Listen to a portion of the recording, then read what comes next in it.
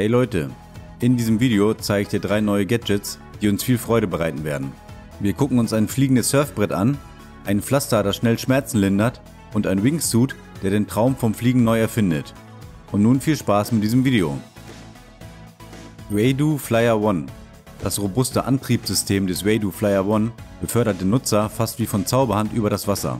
Optisch erinnert das Sportgerät an ein Stand-Up-Paddleboard mit zusätzlicher großer Finne und einem Motor dran.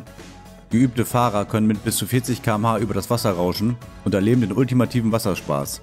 Mit einer Akkulaufzeit zwischen 55 und 85 Minuten ist der Akku groß genug, um nicht nur kurze Ausfahrten zu unternehmen. Der Flyer One überzeugt mit seiner Durchdachtheit.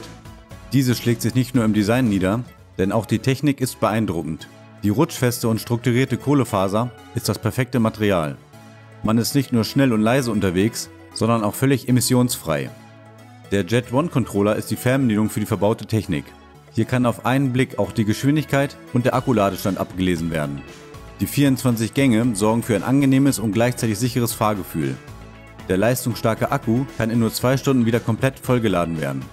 Der Flyerpod ist ein aufblasbarer Ring, welcher Anfänger mehr Stabilität bietet. Sollte der Fahrer ins Wasser fallen, so schaltet sich der Motor automatisch ab.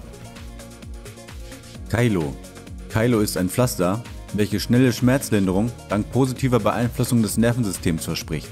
Kylo verzichtet im Gegensatz zu anderen schmerzreduzierenden Methoden komplett auf süchtig machende Stoffe, invasive Verfahren oder elektrische Impulse zur Schmerzlinderung. Ähnlich einem Pflaster wird Kylo auf die Haut geklebt und entfaltet dort seine Wirkung.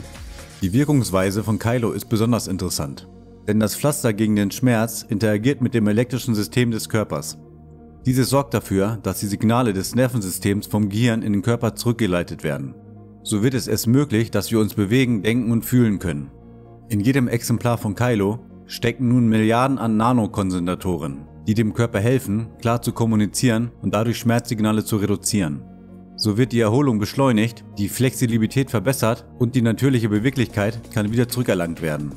Bei der Anwendung kann es sogar passieren, dass Kylo zu Beginn warm wird, wenn die Reaktion des Nervensystems stattfindet. Um die optimale Wirkung zu erzielen, wird Kylo zwischen die schmerzende Stelle am Körper und dem Gehirn platziert, um dort die Weiterleitung der Schmerzsignale positiv zu beeinflussen. Die Wirkung hält an, solange Kylo getragen wird. Der Effekt lässt jedoch auch nach dem Entfernen nur langsam nach. Ob das funktioniert, ich bin mir nicht sicher. Die Zukunft wird zeigen. Electrified Wingsuit die BMW Group präsentiert diesen Wingsuit und läutet damit ein neues Zeitalter des Fliegens für den Menschen ein. Für den Antrieb sorgen zwei ummantelte Carbonpropeller.